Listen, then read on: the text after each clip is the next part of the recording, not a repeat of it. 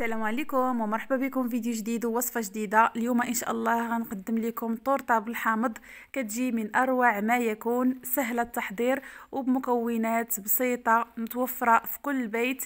كريمة سهلة بدون تعقيدات بدون بيض.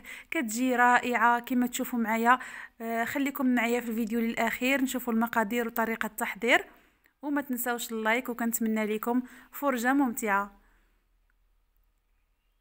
في المقادير كما تشوفوا معايا غادي نحتاج كاس ونص ديال السميدة أو سميد الرقيق اللي كنستعملو في البسبوسة وفي الحرشة. وغادي نحتاج نص كاس ديال سكر سنيده أو سكر حبيبات نص كاس ديال الزيت النباتيه رشة ديال الملح وياغورت. بالنسبة لي غنستعمل طبيعي إلا عندكم ديال مذاق الحامض من الأحسن أولا ديال الفاني. غنحتاج جوج بيضات حجم متوسط وحامضة تكون شوية كبيرة اولا ممكن نستعملوا جوج حامضات صغار. كيس سكر بنكهة الفانيلا وكيس خميرة الحلويات من وزن 8 غرام. هادو هما المكونات اللي جدا بسيطة. كناخذ واحد البول وكنوضع فيه جوج بيضات. من الأحسن نكونوا مخرجينهم قبل من الثلاجه حيت دابا الجو بارد باش يلا يدفاو. وغادي نزيد ليهم نص كاس ديال سكر سنيدة أو سكر حبيبات. غنسمهم بكيس آه، سكر بنكهة الفانيلا. اختياري تقدروا تستغناو عليه. وغادي نسم كذلك بالقشور ديال الحامض. كيعطيو واحد النكهة رائعة خصوصا لأنها الطرطة آه، أو هاد الطورطه آه، بالحامض. صافي غادي ناخذ هاد الطراب اليدوي وغادي نطرب الكل جيدا حتى ينسجم لينا هذاك البيض. مع سكر سنيدة. من بعد ما كنخدم مزيان البيض مع سكر سنيدة أو سكر حبيبات وكنحس بهذا الخليط انسجم وما كيبقاوش هذوك الحبيبات باينين ديال سكر سنيدة. غادي نضيف رشه ديال الملح لتعديل الذوق لأن الملح ضروري في جميع الوصفات. وكنطرب الكل جيدا. غادي نزيد ياغورت طبيعي لأنه متوفر عندي فاستعملته. ممكن تستعملوا ياغورت بنكهة الحامض أو ياغورت بنكهة الفانيلا.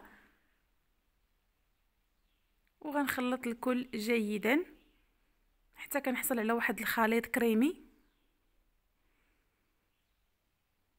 ضروري في هذه العملية نحركه جيدا جيدا حتى كيولي عندنا واحد الخليط اللي منسجم. من بعد ما نسجم هذا الخليط غادي نضيف نص كاس ديال الزيت النباتية وغادي ندخلو جيدا في هذا الخليط.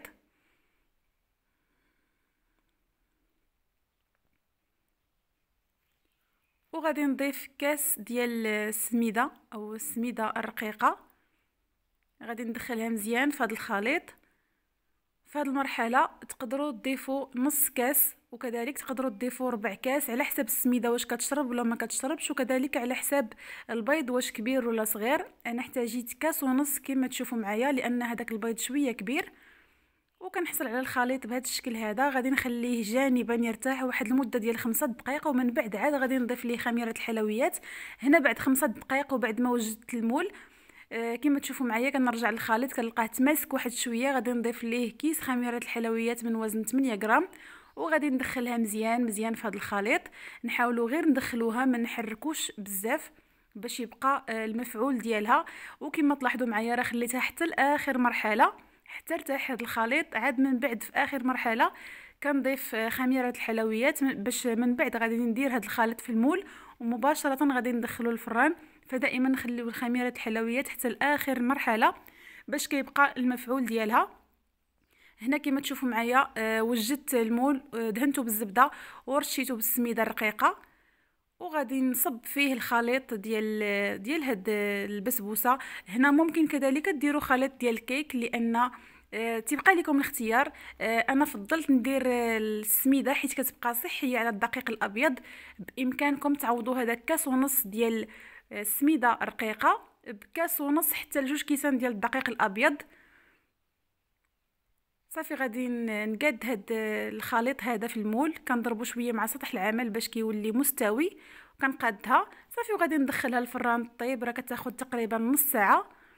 وهذا هو الشكل ديالها بعد ما خرجتها من الفران. كما تشوفوا معايا كتحمر من التحت وكنخليها حتى كتحمر من الوجه ديالها وكنخرجها. مباشرة غادي نقلبها في صحن التقديم وهي سخونة باش ما يتعرقش لينا في هذاك المول.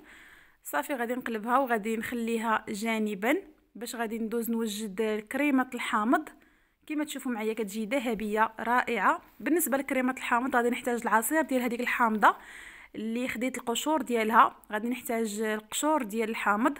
غادي نحتاج ثلاثة المعالق كبار ديال سكر سنيدة نصف لتر حليب وجوج معالق كبار من بودرة الكريم باتيسير ممكن تعوضوها بالنشا أو المايزينا ولكن الكريم باتيسير كيجي ألد.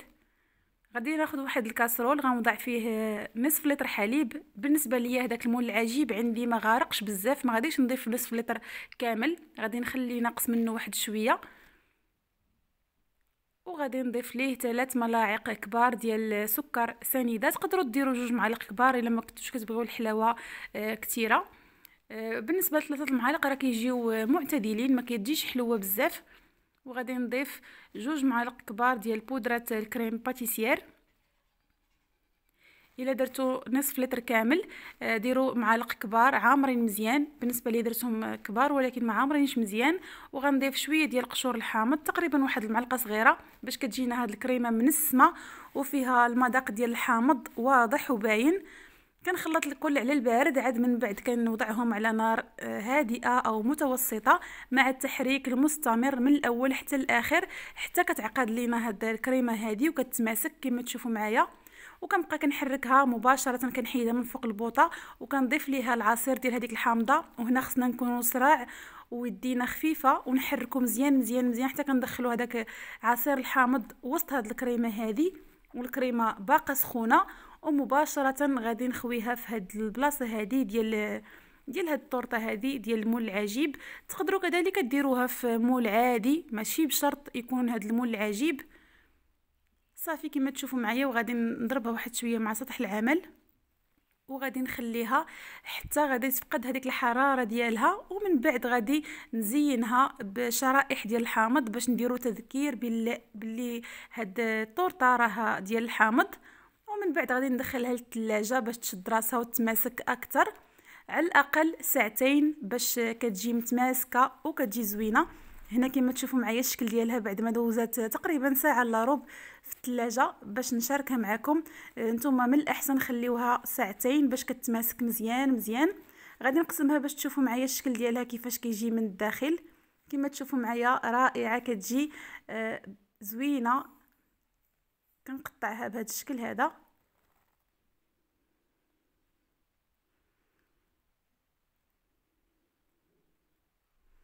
وهذا هو الشكل ديال الطورطه كما تشوفوا معايا كتجي من أروع ما يكون. رائعة لذيذة منعشة مذاق الحامض حاضر فيها. كتجي زوينة بزاف. أه تفرحوا بها وليداتكم وعائلتكم. أنا متأكدة إلا جربتوها غتعجبكم بزاف بزاف وراه في بلاصتها ما كتبقاش. كيطيروا بها. كتجي زوينة بزاف. كنصحكم أنكم تجربوها بهذه الطريقة. هذه السهله والرائعه كنتمنى وصفة اليوم تكون نالت إعجابكم ونتلاقاو إن شاء الله في الفيديو الجاي. خليتكم على خير إلى اللقاء.